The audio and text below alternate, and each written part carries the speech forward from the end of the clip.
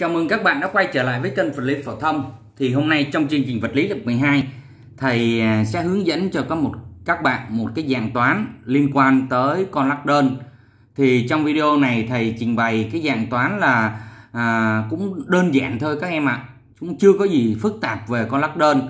Đó là các dạng toán mà tìm omega, tính f rồi tính chu kỳ t tức là những dạng toán liên quan tới công thức tính omega, tính f, tính tần số góc, tính tần số chu kỳ.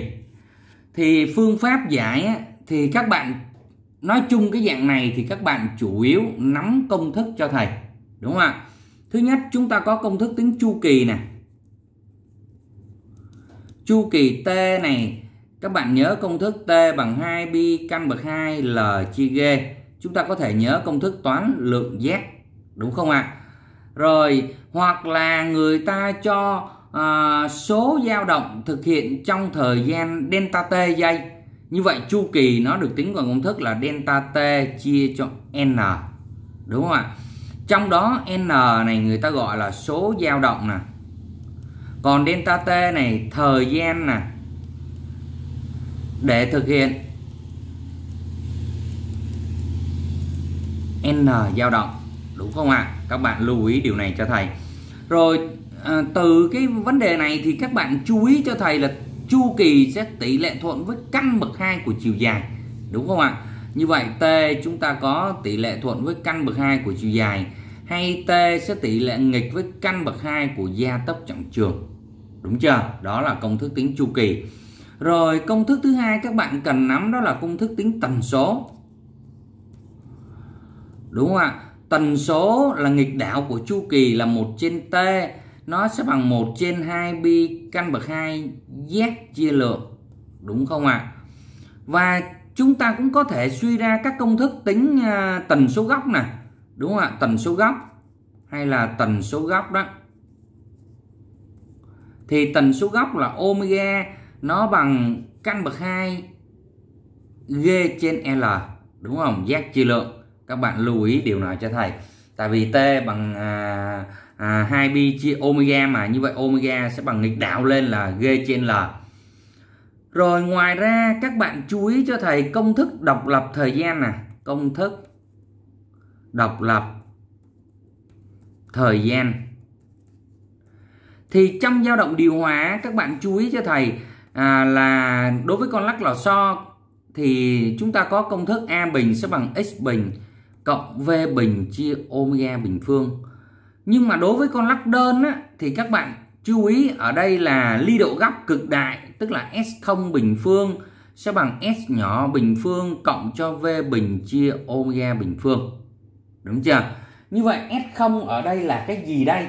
S0 ở đây là cái gì đây bác? À, các bạn, đây thầy à, minh họa chỗ này cho các bạn. Ví dụ như con lắc đơn, đúng không? Đây là phương thẳng đứng chúng ta kéo con lắc đơn này ra khỏi vị trí cân bằng một góc alpha 0 thì cái alpha 0 này người ta gọi là biên độ góc cực đại nè. Mass. Đúng chưa? Và khi đó con lắc này nó sẽ dao động từ vị trí này. Đây, dao động đây.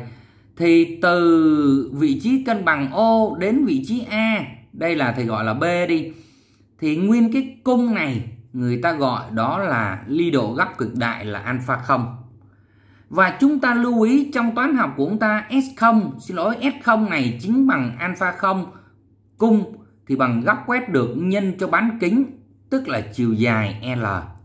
Đúng chưa? Còn ở một vị trí có ly độ bất kỳ, ví dụ như đây là góc alpha đi. Đúng không ạ? Thì chúng ta nhớ S này, cái đoạn này là S này các em đây đoạn này là S ly độ góc S nhỏ này sẽ bằng alpha nhân cho L.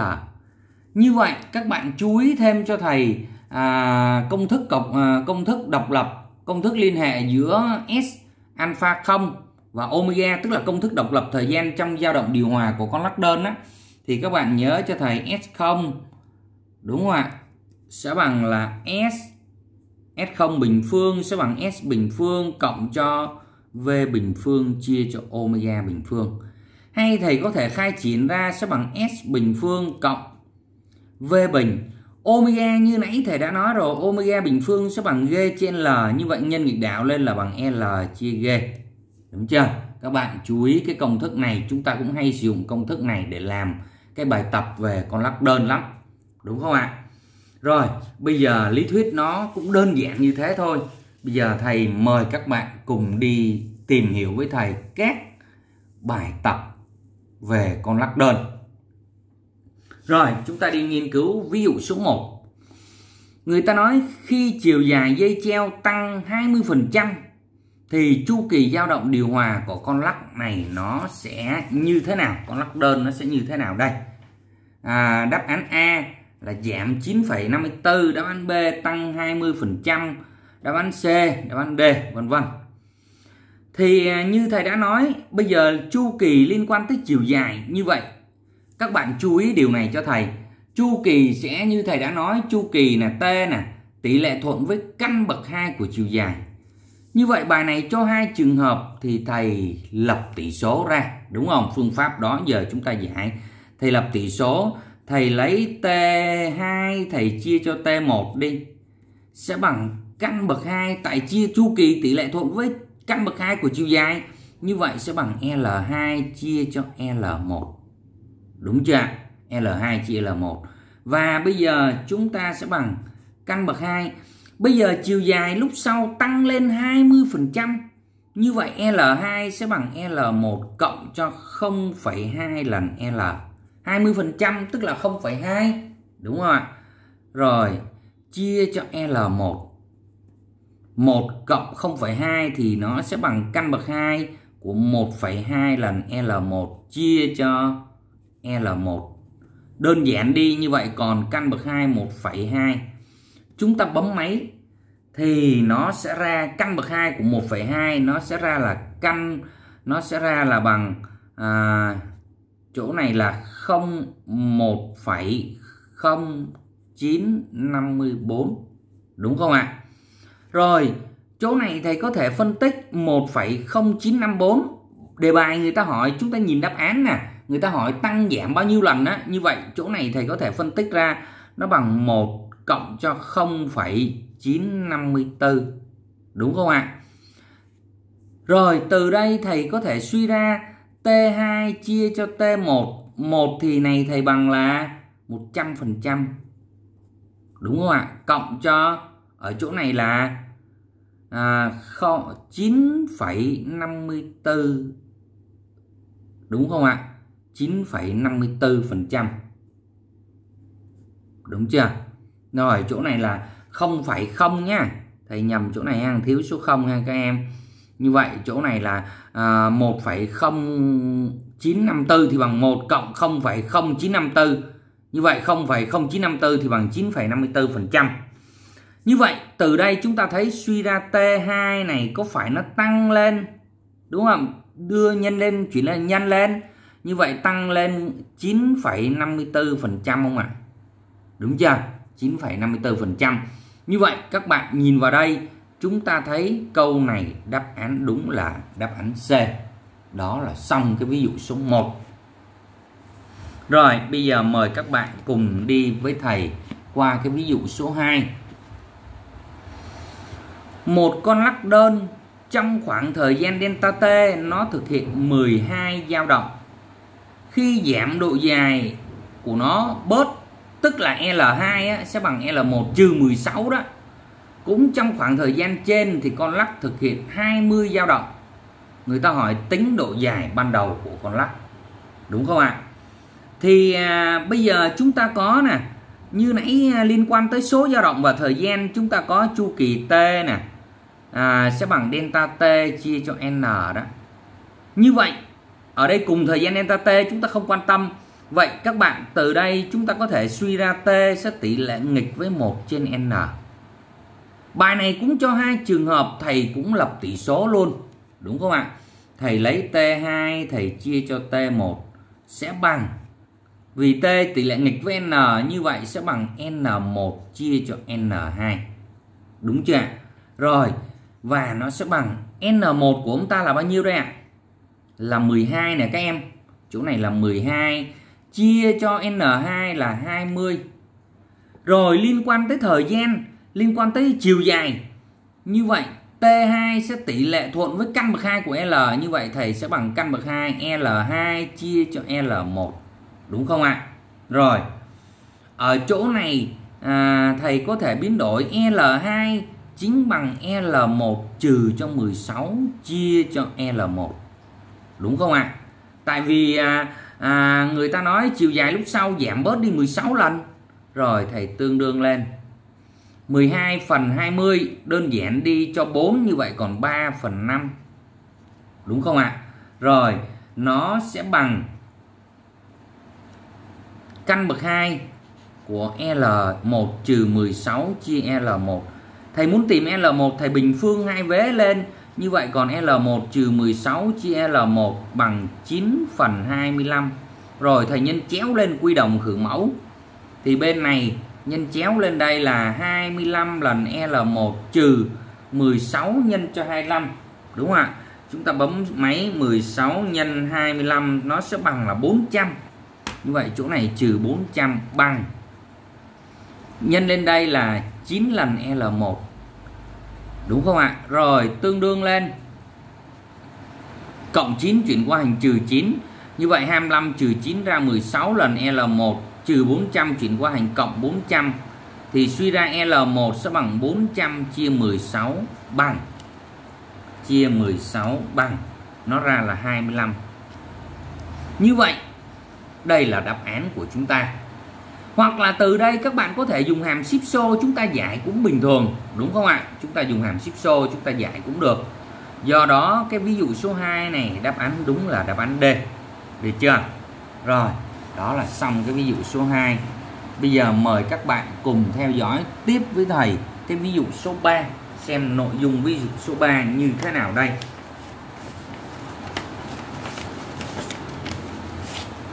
Rồi, cái ví dụ số 3 này. Một con lắc đơn.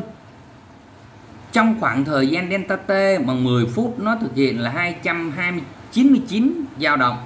Khi giảm bớt là 40 cm thì cũng trong khoảng thời gian delta t như trên, con lắc thực hiện là 386 dao động. Người ta hỏi gia tốc rơi tự do, hỏi ghê là bao nhiêu, đúng không ạ? À? thì đối với cái bài này á, người ta cho thời gian, người ta cho số dao động đúng không ạ? Cho thời gian, cho số dao động, chúng ta sẽ tính được chu kỳ. Khi có chu kỳ, chúng ta có chiều dài, chúng ta sẽ tính được gia tốc trọng trường. Đúng không ạ?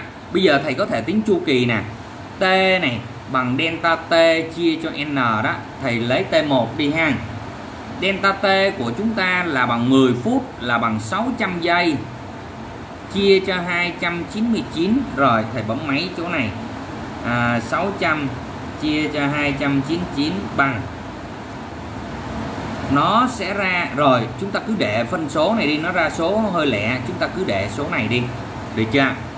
Rồi bây giờ có chu kỳ chúng ta tìm chiều dài thì chúng ta sẽ tính được gia tốc trọng trường đúng không?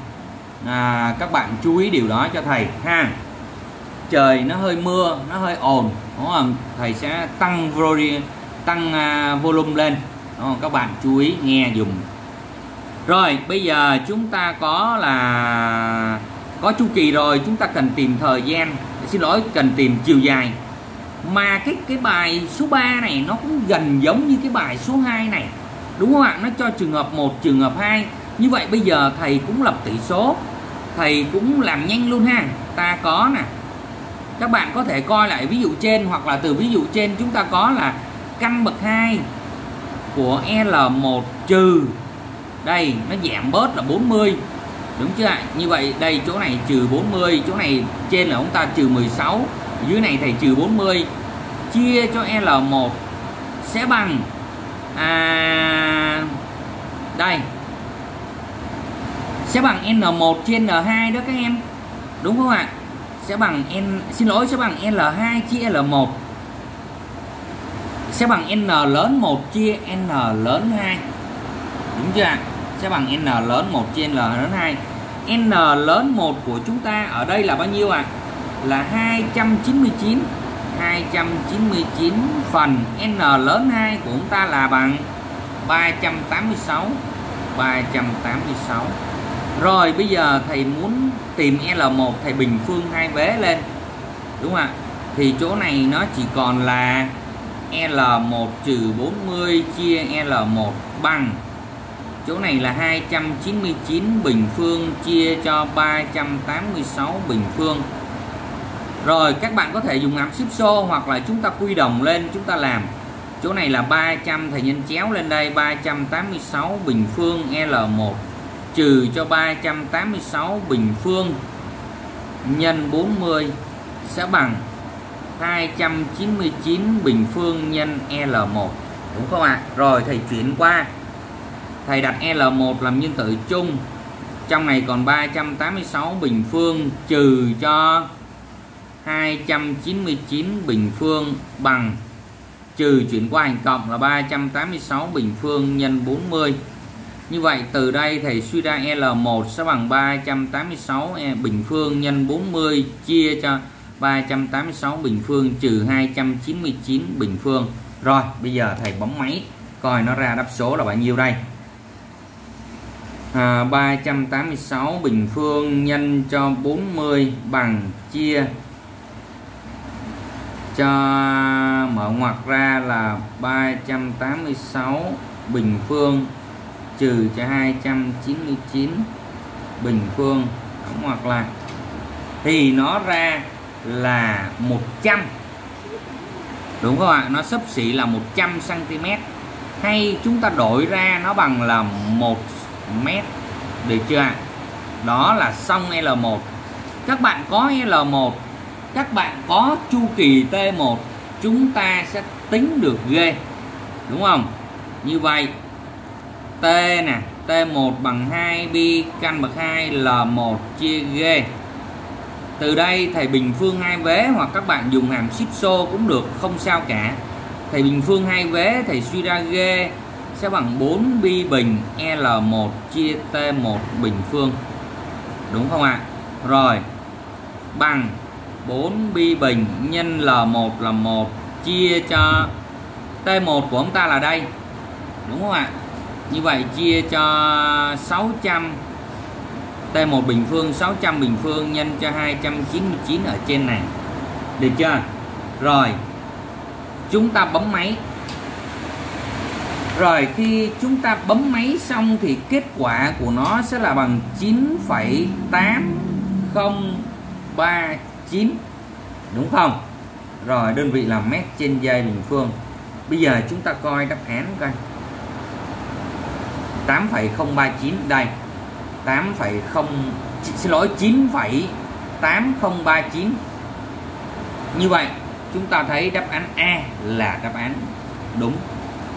9,8039 như vậy đáp án này được chưa?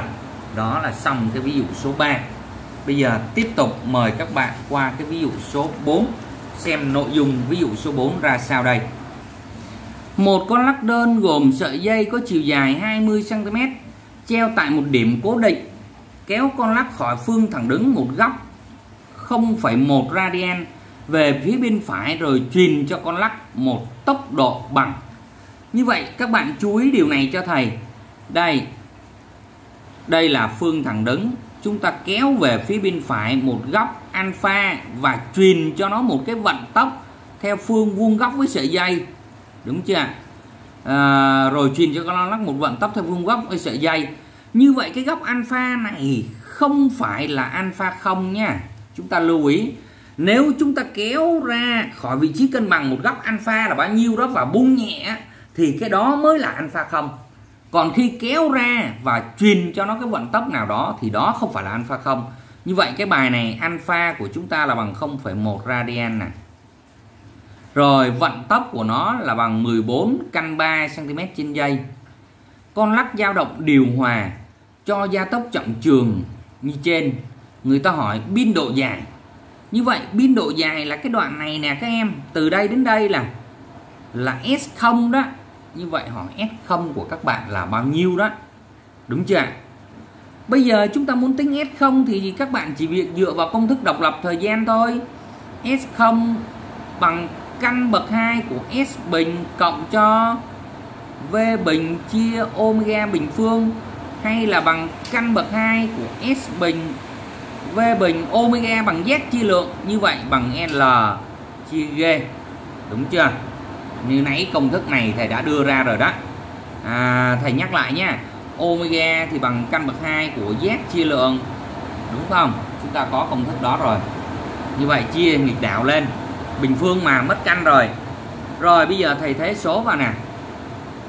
Chúng ta coi S0 ở đây là S là bao nhiêu? Thì như nãy thầy đã nói rồi, S của chúng ta nó chính bằng alpha nhân L không?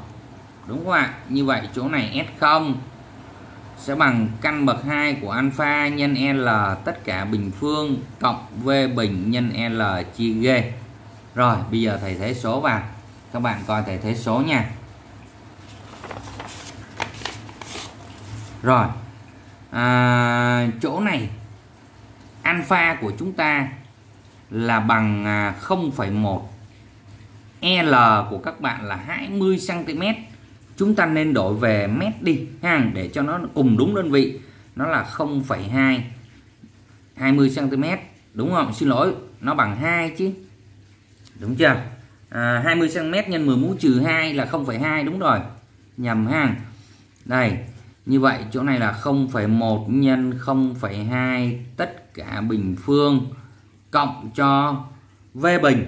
V bình của chúng ta là bằng 14 cm trên giây. Như vậy đổi ra là 0,14 nhân căn 3 tất cả bình phương nhân cho L. L của bạn là 0,2 chia cho G. G của chúng ta là 9,8 rồi bây giờ chúng ta bấm máy nó sẽ ra kết quả. Kết quả chúng ta nó sẽ bằng là 0,04 mét hay là bằng 4 cm đúng chưa? Do đó cái bài số 4 ví dụ số 4 này các bạn chọn đáp án đúng là đáp án C. Xong ví dụ số 4 ví dụ số 5 một con lắc đơn dao động bình với biên độ góc đây là alpha không nè các em đúng không ạ? Ở một nơi có gia tốc trọng trường là 10 m trên giây bình phương.